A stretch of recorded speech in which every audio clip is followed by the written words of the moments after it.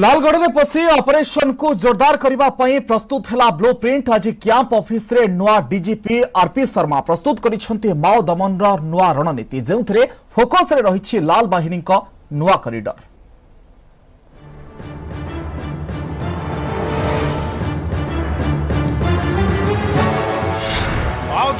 नुआ डीजीपी नुआ रणनीति फोकस लाल बाहिनी गुइंदा तथ्य और समन्वय उपरे गुरुत्व माओ दमन नहीं डीजीपी क्यांप ऑफिस रे गुरुत्वपूर्ण बैठक बैठक में डीजीपी डाक्टर राजेन्द्र प्रसाद शर्मा उपस्थित थे BSF IG AK Singh CRPF IG KK Sharma गुइंदा निर्देशक सुनील राय और एसओजी कमांडांट अनूप कृष्णा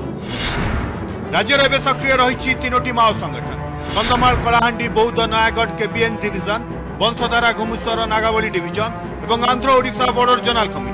इतनी डिवीजन है वे फोकस है because whenever pressure of security forces, they tend to shift their presence in other areas and create newer corridors for their movements. And we accordingly have to frame our response.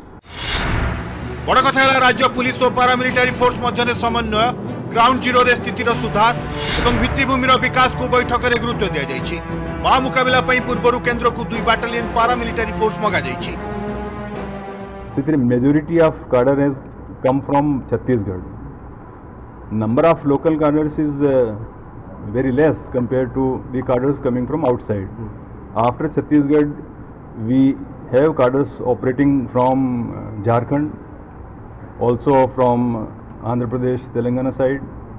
and from Odisha, a very small number is there. प्रस्तुत होई सारी blueprint